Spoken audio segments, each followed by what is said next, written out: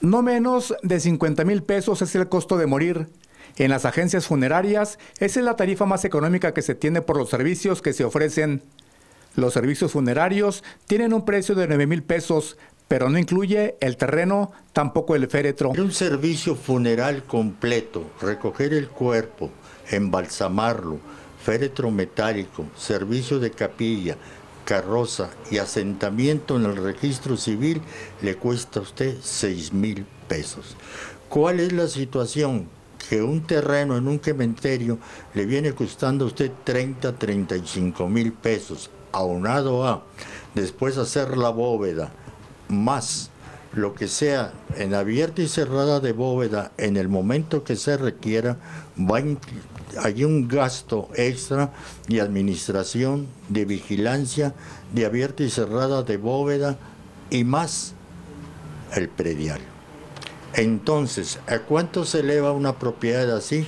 Entre 40 y 50 mil pesos. Hay otra opción más económica, la cremación del cuerpo, donde los precios son hasta un 80% más económicos.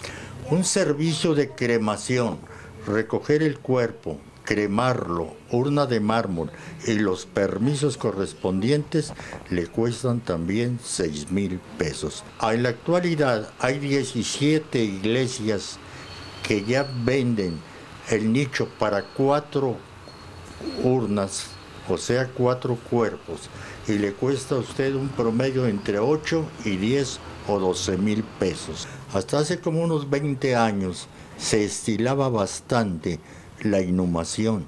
De 15, 20 años para acá cambia. Tenemos un 60-70% de cremación contra un 20-30% de inhumación. ¿Qué significa? La situación económica y lo práctico. Más económico, la cremación.